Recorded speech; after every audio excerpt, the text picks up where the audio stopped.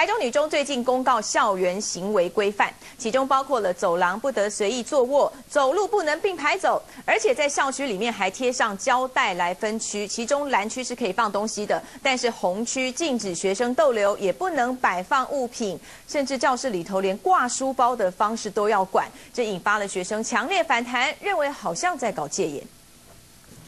用蓝色胶带贴出 L 型的区域，格子内才能放东西。这是学校的新规定，因为学生在上体育课，把花花绿绿的水壶摆上了升旗台当置物架，学校认为实在不好看。原本打算用红色胶带把升旗台贴成红色禁区，引发反弹。我觉得就是女中应该是讲的会听的学校，就是没有必要说那么强制的规定，然后还说要记警告之类的。我觉得学校好像没有把我们当做高中生在看。就是没有给我们一点比较自由的空间。升旗台不准学生放置物品，也不能逗留。这份校园行为规范实在有够多，洋洋洒洒十五项，说在走廊不能并排走路，还要将校区贴上胶带区分，超出蓝区范围就视为违规物。学生的行为已经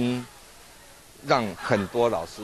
受不了，会心里不舒服，而他的反应管道一定是学务处。学校解释，多数条款只是劝导，没有罚则，但导致学生吃力不讨好，如何达成共识，还得再好好研究。